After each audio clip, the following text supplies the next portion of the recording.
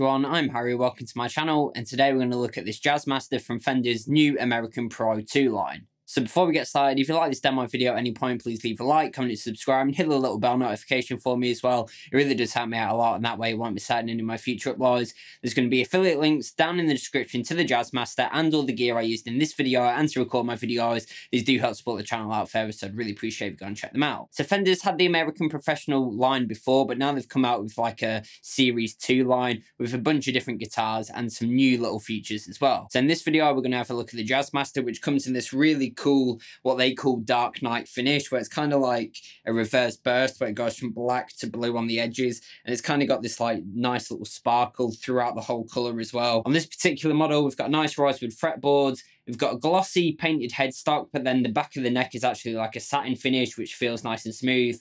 The neck profile isn't super thin, but not super thick either. It's kind of a bit slimmer than like a vintage C shape. And we also have a sculpted heel on the back for easier fret access. Other than that, we've got standard tuners on there, a raised up string tree, which is nice as well. And of course, we've got the V-Mod pickups. Now, there's a couple of different little options you can have.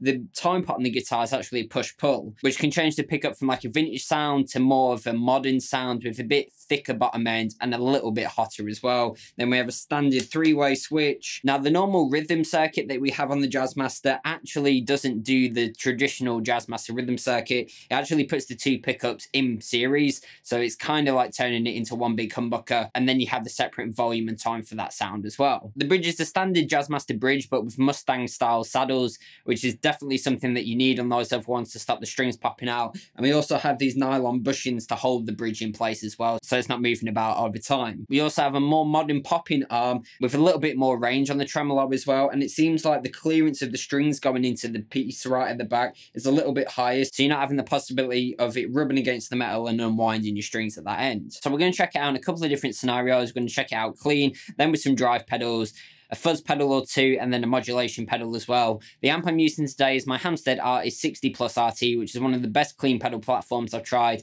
There's a little bit of reverb coming from the amp as well. That's running into the Tone King Ironman 2 attenuator just to knock off a few dBs, and then running into Celestion G12M65 Creamback speaker that's being recorded by a Lewitt MTP 440 dynamic microphone, which is like an SM57 with a tiny bit more bass. So the Jazzmaster straight into the amp sounds like this.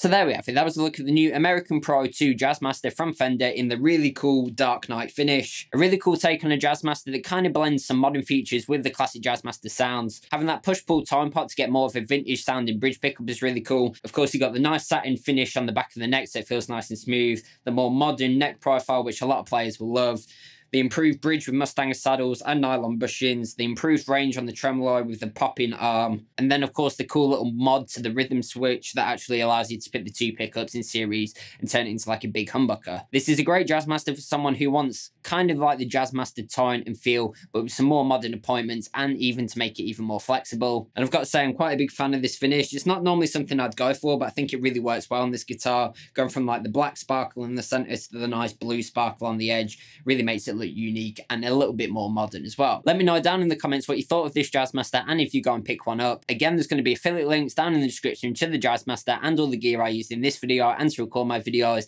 These do help support the channel out further, so I really appreciate if you go and check them out. If you did like this demo video, please leave a like, comment, subscribe, and hit the little bell notification for me as well. It really does help me out a lot, and that way you won't miss out on any of my future uploads. Other than that, go onto my channel, check out some of my playlists. I have plenty more lessons, covers, gear demos, how to sound like videos, and anything guitar related. As always, I've been Harry, and thanks for watching.